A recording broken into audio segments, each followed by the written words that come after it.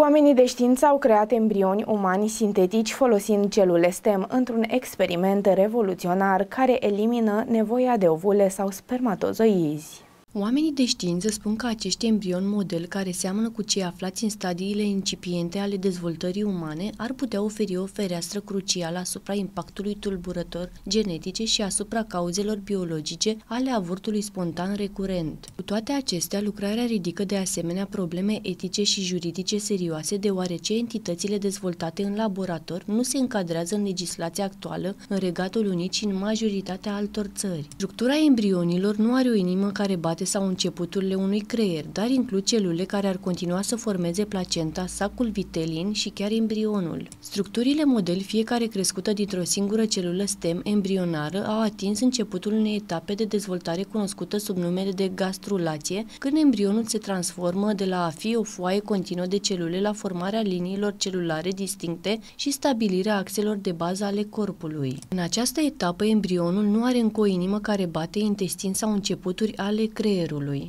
În aprilie, cercetătorii din China au creat embrioni sintetici din celule de maimuță și i-au implantat în pântecele maimuțelor adulte, dintre care câteva au prezentat semnele inițiale ale sarcinii, dar niciunul nu a contat să se dezvolte după câteva zile. Oamenii de știință spun că nu este clar dacă bariera în calea unei dezvoltări mai avansate este doar tehnică sau are o cauză biologică mai fundamentală, relatează știrile protv.ro.